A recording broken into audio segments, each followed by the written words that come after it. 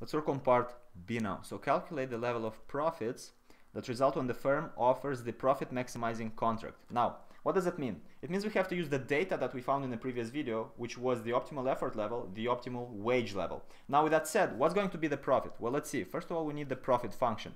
And the profit function is the difference between the revenues that the company generates and the cost it has to incur. Now with that said, what are going to be the revenues?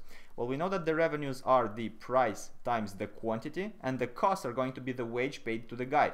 So minus the wage. Now with that said, we can substitute values because we know the quantity is a function of effort, which is theta times the effort. So we have profit equals to the price times theta times effort minus the wage. And we know the wage because we calculated previously. This is the wage that we saw in the previous video. So we're going to substitute it over here, which is going to be V plus 1 over 2 times P square times theta squared divided by theta. Now with that said, we also know that we can substitute the effort level because we found the effort level in the previous video as well. So we're going to substitute it over here. Let me just zoom out to get more space because this is going to be a bit more methy.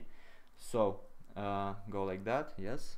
Now the profit is going to be equal to profit equals to P times theta times. Now instead of the, of the effort level, we are substituting it. Instead of the effort level, we're substituting P times theta times theta divided by theta, that is our effort level, uh, minus, let's open the brackets now, so we go minus V, so minus V, minus the other term, 1 over 2 p squared theta squared divided by theta. Okay, now we can now we can expand this. We can open some brackets here because we have a multiplication. p times theta multiplied with p times theta. Well, that's just going to be p squared times theta squared divided by theta. Minus minus. Now here we have also p squared theta squared divided by theta with a coefficient of 1 over 2 right? With a coefficient of 1 over 2 so we have minus 1 over 2 times the other term. P squared theta squared divided by theta. And the reason we do it one next to each other is because we can see we're going to subtract the same terms with different coefficients. So that's going to be fast minus v. We're keeping the constant term, minus v. Now with that said, we can calculate the profit.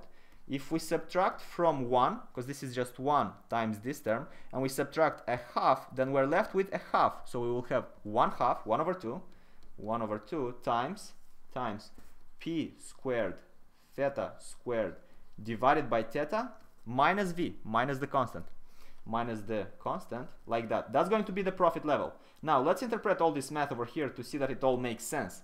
What can we see? How does profit increase? How does profit decrease? Let's give some meaning over here. Well, look, if price increases, keeping everything else constant, then the profit would go up. Hope this makes sense. Price higher, sales are more valuable, therefore more money. So profit would increase.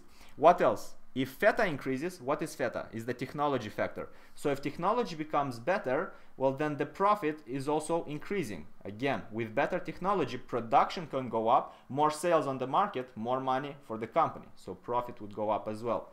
Now, if theta increases, if the cost of effort goes up, right, keeping everything else constant, this value goes down, meaning that the profit level goes down as well. So why is that the case? Well, because if the cost of effort is higher, the worker is willing to put less effort because it's harder, meaning that the worker will generate less output, the company will sell less on the market.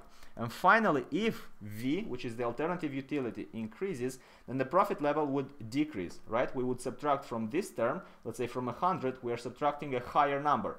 100 minus 50 is 50, but 100 minus 60 is 40. So the profit would decrease.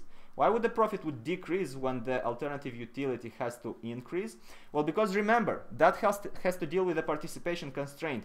Whenever the alternative utility, the alternative salary, so to speak, is higher, the company must pay more to attract the worker. But the payment to the worker is the cost of the company. In other words, if the cost to the worker increases, the profit left to the company decreases. Hope this all makes sense.